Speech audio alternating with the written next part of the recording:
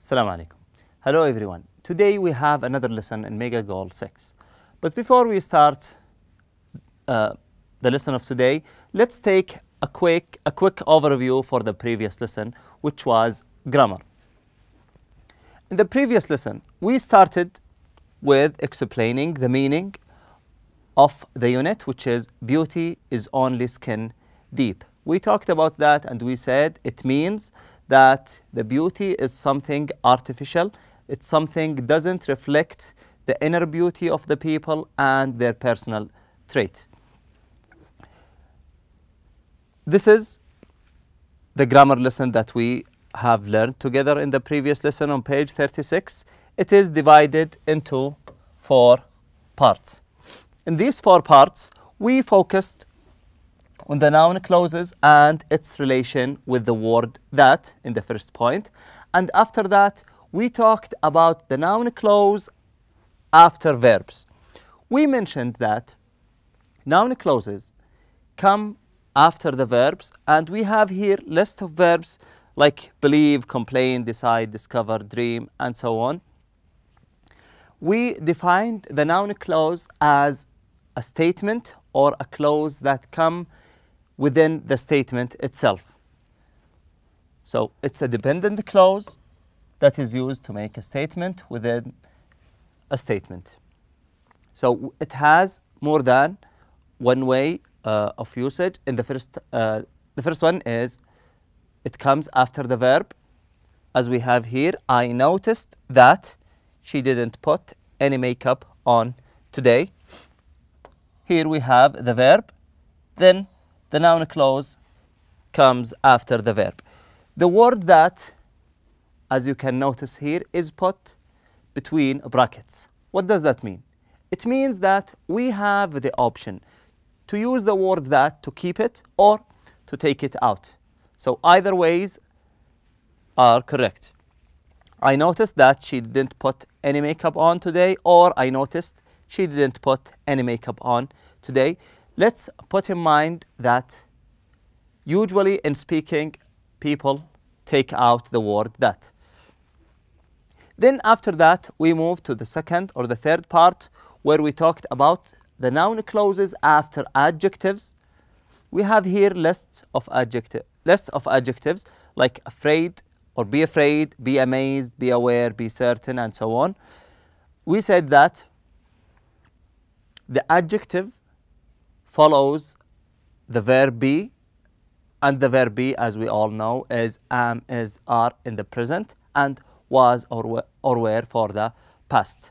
So, one example for uh, this situation is she doesn't seem to be aware that her dress is no longer in style. She doesn't seem to be aware. This is an adjective, and here we have the noun clause.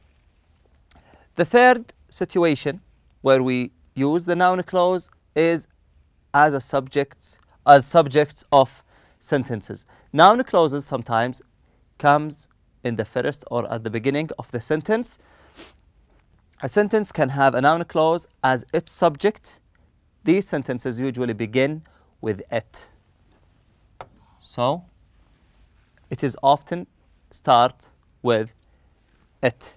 For example, it is a fact that, it is funny that, it's obvious that, it's possible that, and so on. The first example is it is surprising that toothbrushes only became common in the 20th century. This is a sentence that has started with a noun clause. After that, we had some exercises. We started with the first one, which is A. Complete each sentence with a verb plus that and be sure to use the correct form of the verb. In some cases, more than one answer is possible, and the answers of the following sentences is as shown here on this slide. After that, we move to the second exercise, exercise B, read and respond to each item. You are asked here in each sentence to respond to every command or to every request. The first one, talk about something you saw. Number two, talk about a complaint you made and so on for the rest of the uh, requests. we learned that we can start the sentence by using a noun clause or it can come after the verb or uh, it can be also after the subject the the adjective of the sentence and we use that way in each one or in most of these sentences. For example we have the, the, the answer for the first one talk about something you saw recently and the answers for the rest of the sentences as shown here in this slide. Then we move to the workbook. In the workbook we have exercise C. Circle the correct words to complete the sentences. Here we have words or verbs that are used with the word that. And we have two options in each sentence. We were asked to use or to choose one of these two answers and the answers of uh, the correct sentences are as shown here in this slide. Now let's go to our lesson today. On page 38, we have a conversation lesson. We have conversation lesson. But firstly, let's start with the meaning of conversation. What does it mean? Conversation is when two people or more are talking to each other, they are discussing something, they are sharing their opinions or their ideas about some topic. This is called a conversation.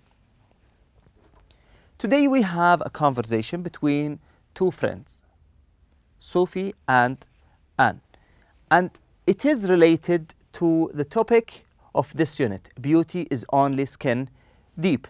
They talked about their appearance, what should they do, what they, what they shouldn't, and so on. They discussed many things. I want you now to pick up your pens, listen carefully to the conversation, underline the new words, and try to guess the meanings of the new expressions. For example, we have here some expressions that are written in blue. I want you to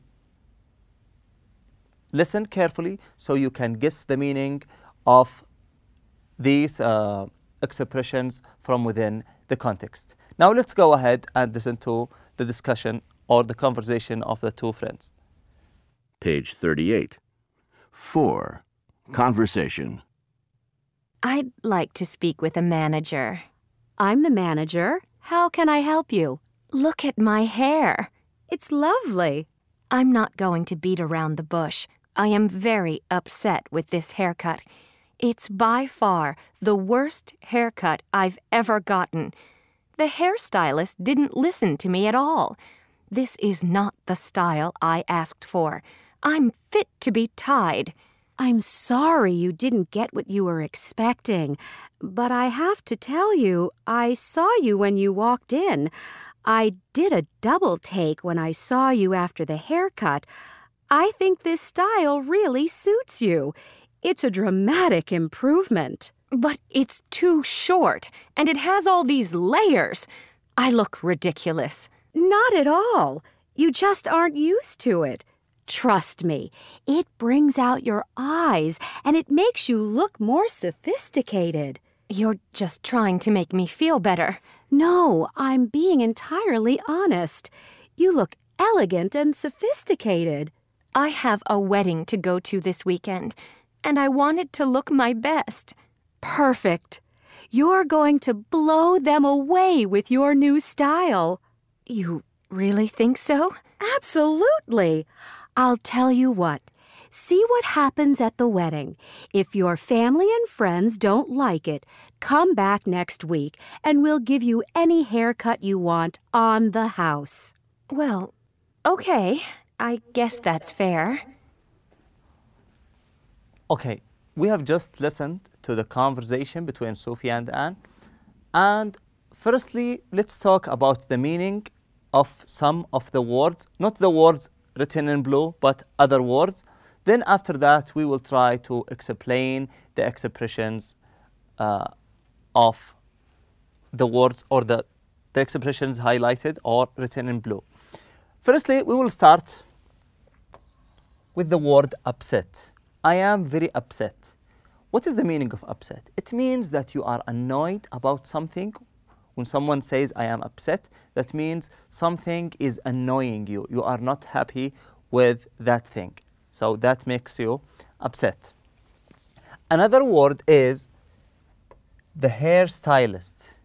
The hair stylist. It means or it refers to the person who does your hair, who changes the appearance, the way your hair looks. We call that person hair stylist. Also, we have other words like uh, sophisticated, and we have the word elegant.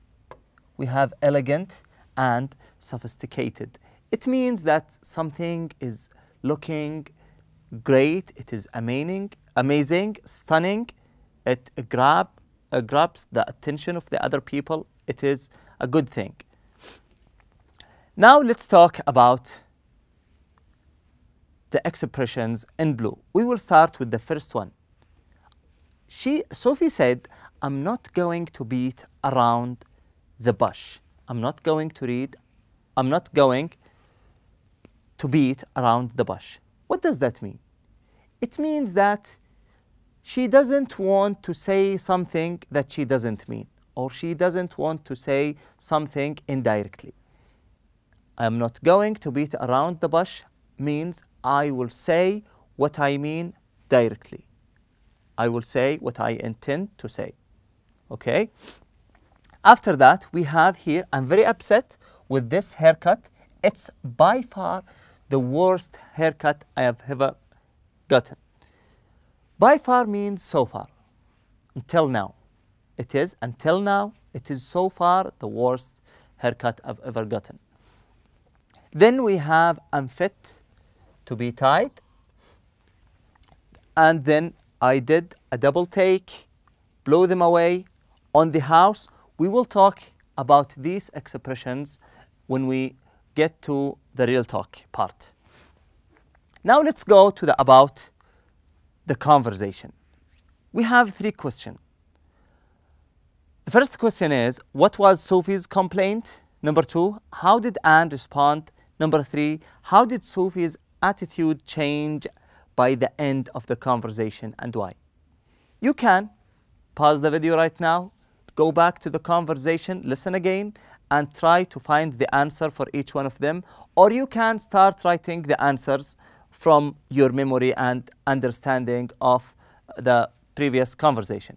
Now we will go ahead and answer the first question together, which is what was Sophie's complaint?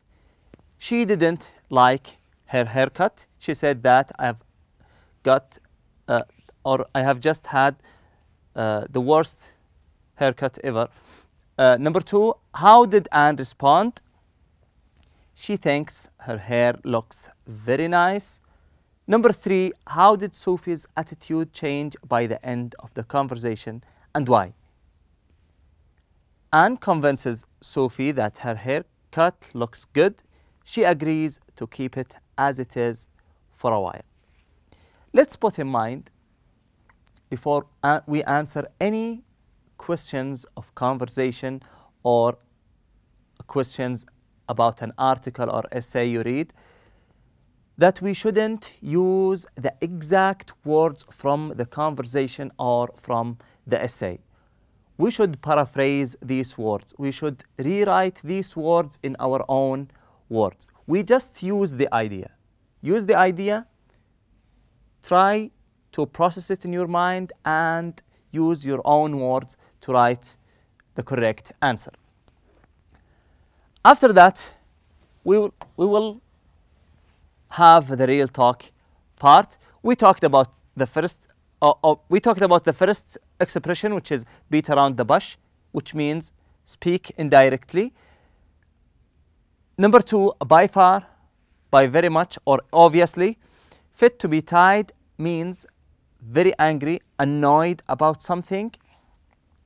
Did a double take, looked again in surprise or at someone or something. Blow them away means that you impress people, make them amazed by the way you look or the way you talked about something. but it means impress the people and grab their attention to anything you have. Number three, uh, the, sorry, number six, the last one, on the house, it means free. So once the owner of a place or a, an owner of a, of a store says it's on the house, it means you can take it for free. Now we will go to this exercise on page 23 in your workbook. Exercise H is related to the previous expressions that we have just explained and talked about. I want you now, or we will now, read the sentences together, read the words in the box, and we will try to work together to put these words or these expressions in the suitable blanks. We have six expressions beating around the bush, blow them away, by far, did a double take, fit to be tied, and the last one on the house. You all now know the meaning of each one of these expressions and how to use them. Now we have six sentences. The first one Andrew spent, Andrew spent weeks researching and preparing the project. He really wanted to impress everyone at work. And he did. He really, with his presentation. Which word, or sorry, which expression do you think is related to making people like what you think, impress people, grab their attention, and so on? The answer is blew them away. Andrew spent weeks researching and preparing the project. He really wanted to impress everyone at work, and he did. He really blew them away with his presentation. Sometimes we have keywords in each sentence once we have uh, an exercise or once we have a question. We have keywords that could help us find the answer, even though if we don't know the meaning of each word in the sentence. For example, in the first one, Andrew spent weeks researching and preparing the project. He really wanted to impress. The word impress is one of the key words that could help you find the answer from the expressions in the box. Now let's go to the second one. Wow, is that, a, is that Mark?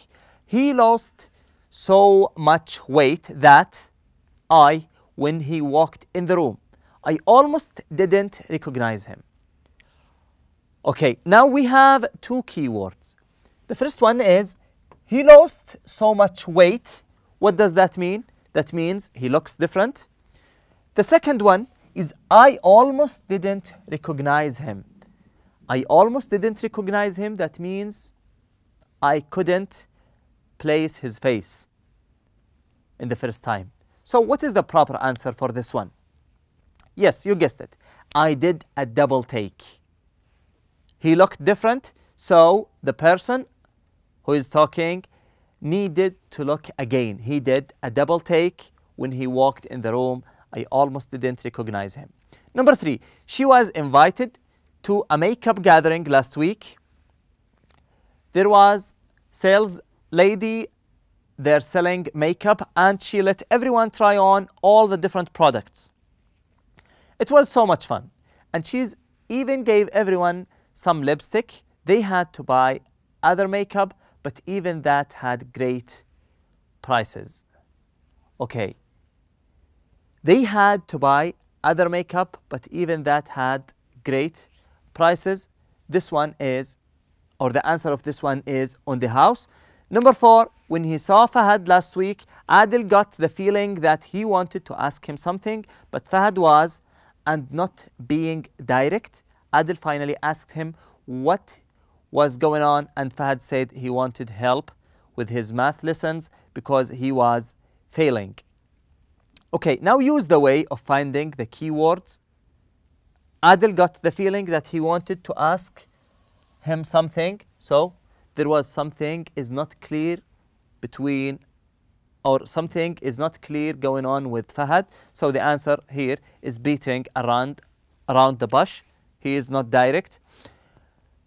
Number five, last week, Ingrid bought a beautiful new dress to wear to wear to her sister's wedding. She wanted to show it to her mother and sister, so she left so she left it on the table and went to get them. When they came back, she screamed. There was her little brother with chocolate all over his hands and all over her new dress. She was I think this one is so obvious. The answer is fit to be tied because her brother uh, had chocolate all over her dress. And the last one is, in my opinion, having a healthy diet is the most important way to look and feel good. It is great for your skin and provides you with the energy you need. And this one is by far. So now we have answered together all these sentences and we use the right expressions in each blank. Now let's go to the last part in our lesson today. It is re related to making complaint. We learned from the conversation how Sophie wasn't happy with her haircut. She made a complaint. She talked to the other woman and she made her complaint. Today we will learn a new way of making complaint by using one of these expressions we have on the board. The first one is I'm very unhappy or I am very upset about or I am very unhappy with. Okay? Or I insist that you or I want to make a complaint. I would like to speak with the manager. I'm not at all satisfied with this situation. I'm sorry to have to say this, but this is completely unsatisfactory. This isn't what I expected, or this isn't, or this is nothing like, or this is too, okay? All these are ways of expressing your complaint about something. These are not the only correct expressions, but they are some or they are suggested for you to be used once or if you want to make a complaint about anything. This is the last part of our lesson today. Thank you all for attending and I wish you enjoy the rest of the day. Assalamu alaikum.